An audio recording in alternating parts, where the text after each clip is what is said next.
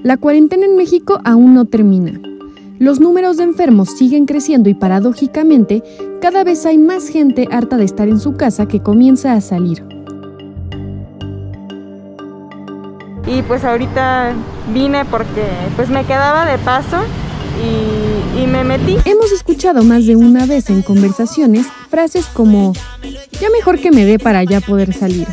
E incluso las famosas COVID parties han llegado a nuestros oídos. Esas fiestas cuyo fin es contagiarse de COVID para finalmente salir del paso.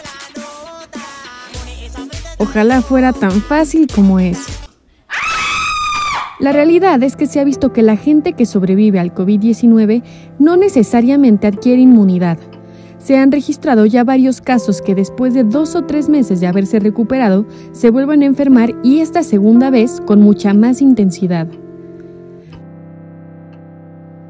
Aunque es verdad que hay quienes piensan que eventualmente, tal vez en el 2021, alcanzaremos la inmunidad como con enfermedades anteriores, aunque aún no hay algo que nos lo pueda asegurar. Incluso se ha puesto en duda la eficacia y durabilidad que podría tener una vacuna frente a esta enfermedad.